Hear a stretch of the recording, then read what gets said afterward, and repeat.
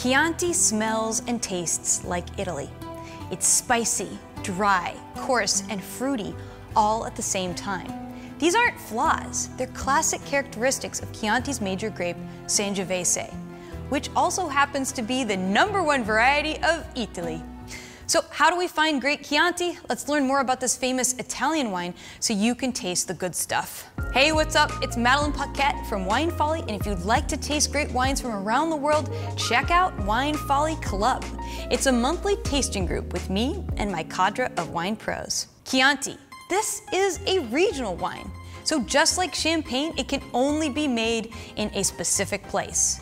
And that place is in Tuscany close to the city of Florence, and it's where we'll find the vineyards that produce grapes for Chianti wines. It's an intense wine to taste for a few reasons. Firstly, Chianti is made of Sangiovese, and this grape is a powerhouse of flavor with aromas of cherry sauce, sun-dried tomato, oregano, balsamic, smoke, salami, and even espresso. It's so complex that your tasting journal is going to be full of notes of flavors, the wine's bold tannins, and high acidity.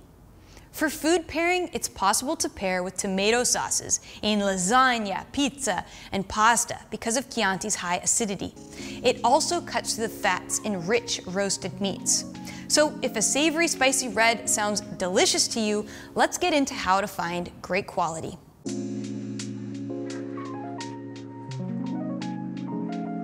The fact is, not all Chianti is made equal, and it's okay because the region is quite large with varying growing areas in mountains and in valleys. So the good people of Chianti have broken up the region into eight subzones.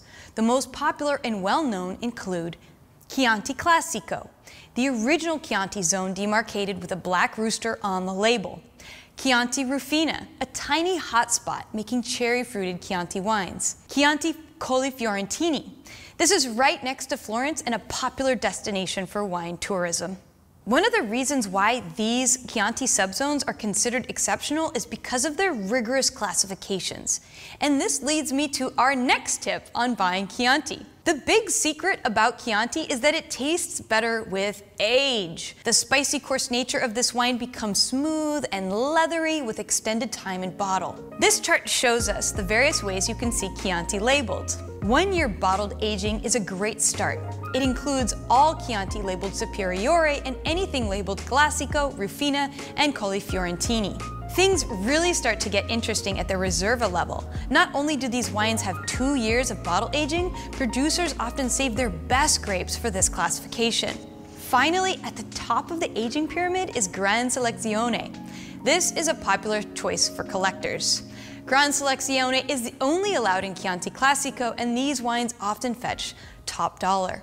I have one last little tip for you, but I wanted to share a special introduction from us here at Wine Folly.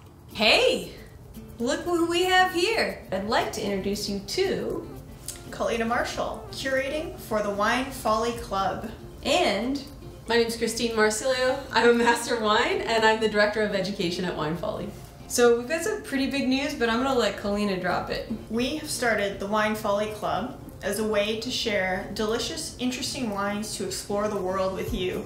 Yeah, so not only are you going to taste amazing wines with us every month, you're also going to learn and go a little bit deeper on each of those wines too, which we're really excited about. I've got to say, this has been a huge effort, us putting this all together, and we're so excited to share these wines together with you and to learn more about wine together.